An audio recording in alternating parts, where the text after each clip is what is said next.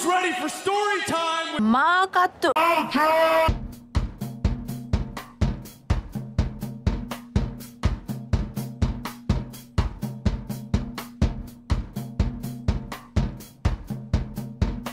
Last time, Mina Shirakawa got her fucking face smashed in by Saya Kamitani, and she started walking around wearing bandages over her face like she's Dark Man because, look, Saya Kamitani may be a very dramatic wrestler, but Mina Shirakawa has the most dramatic reactions to anything that slights her at the slightest. Becoming that Twilight Zone episode with the bandaged dude with her face buried behind the veil of mystery. Mina took the time to form a new personality. What is this, Gen Z Twitter? Because she was once slighted by Tam and became the sexy thirst trap, the bloody angel. But it didn't work. Then Thekla made fun of her boobas, so she became the sexy spider that trapped the toxic spider in her web of boobas. But it didn't work.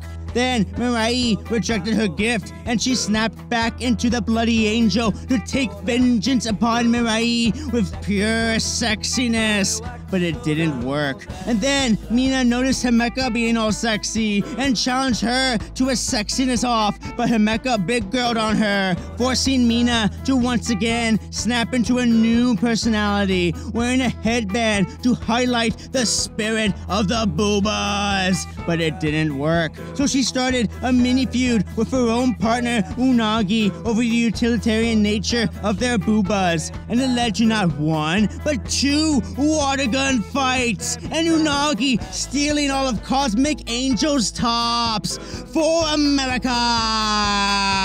But once again, she didn't win. But a bigger issue entered Mina Shirakawa's life, and she spent months avoiding the issue until she had no choice. Tam Nakano chose Natsupoi as her tag team partner instead of her. Poi was able to beat Tam and elevate both of their games into goddesshood. But Mina is known as the boob girl. She had to change something. So during the five star, Mina Shirakawa killed the sexy spider and concentrated on becoming a better wrestler. And she not only succeeded in this result, beating Saya Kamitani cleanly to disrupt her tournament, she is easily the most improved wrestler of 2022. At the finals of the five star, Mina Shirakawa proved to everyone that Poi cannot beat her, but she didn't need to prove it to Tam Nakano anymore. She only needed to prove it to herself.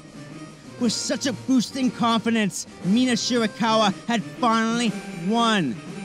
And she evolved into the Venus, a confident, strong style Mina, whose new destiny rests for the white belt. But unfortunately, an ugly accident happened, and Mina got her teeth knocked out, but went to Britt Baker for an appointment, but the girl was overpriced because she's overrated as fuck.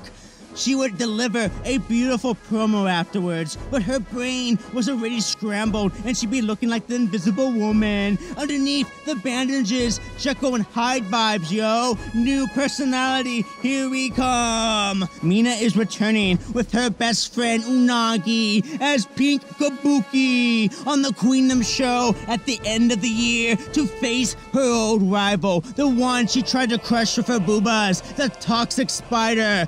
And her tag team badass champion of the cosmos, the ultimate warrior of history, the beholder of nine points of the five star, with her deadly fists of frenzy, Mai Sakurai. Unagi herself did absolutely terrible at the five star and took it upon herself to travel to different promotions and optimize her build for better results. The Gion period lasted only a couple of months, and the timing of such led to Unagi not being there when Mina's jaw was broken. But Mina's not gonna hold that against her, right? Mina's not gonna hold that against her, right?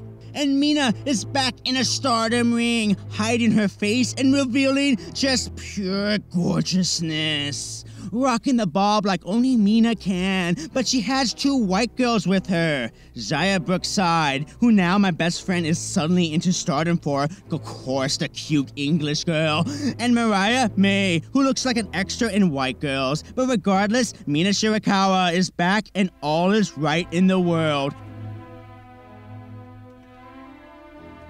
In the ring, Mina showcasing her new strong style, her better wrestling techniques, her clear confidence, and Unagi does her best to assist as DDM attack her jaw, and Mina brilliantly sells the injury, highlighting her teeth since the start of her entrance to enhance this target. But the real interest comes to the rematch between Mina and Thekla.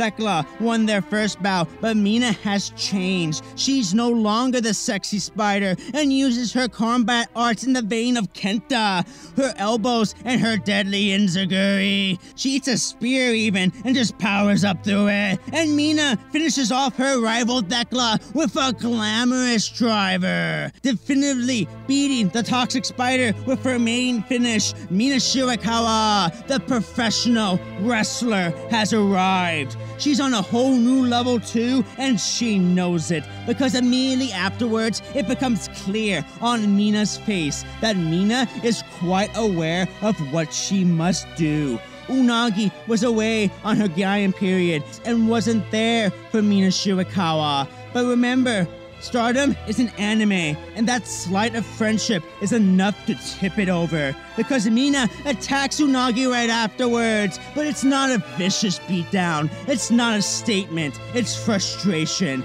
Mina declares that Pink Kabuki is over because the new personality formed by Mina under the bandage was a sudden interest in speaking English. English Shirakawa. And because she's speaking English, she gathered her two new friends, Xia Brookside, with a cute shoulder shuffle, and this girl from Pitch Perfect, Club Venus. Name aside, Mina has her own group now. Her partnership with Unagi is over as she stands off to the side, crying her eyes out for what did she do wrong. Her arc is the same arc as Mina's. She wanted to get better as a professional wrestler, traveled to other promotions to do so, and she comes back and her best friend scolds her for it.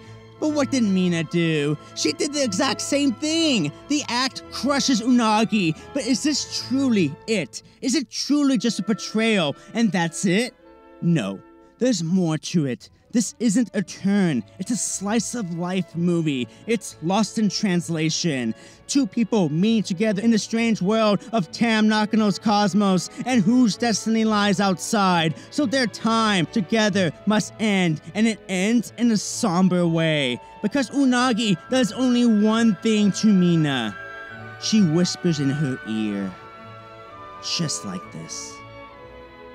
This moment, it's the same the exact same feeling. They would share another moment backstage as Unagi believes they can partner again, and Mina whispers into Unagi's ear. And she smiles. Stardom is an anime, but this story is Violet Evergarden. It's just a slice of life. Two adults going their separate ways, and even though it's not totally logical on Mina's end, getting your face smashed in and suddenly speaking English and hanging with two white girls and choosing to party with them over your own best friend is a totally Mina Shirakawa thing to do. Because this woman paints with all the colors of the wind, and who is anyone to argue with her? But what does this mean for the future? Of Mina Shirakawa. Either way, Mina and the white belt seem to be on a collision course, and I'm all for it. Since covering Mina Shirakawa, she went from the ultra hot girl who goes crazy when she lusts to being ridiculous when people slight her, and eventually deciding to get serious because the one she looked up to didn't see her in the same light. Mina Shirakawa is a very good professional wrestler. And Mina's arc into a credible wrestler who can take the white belt is a beautiful one.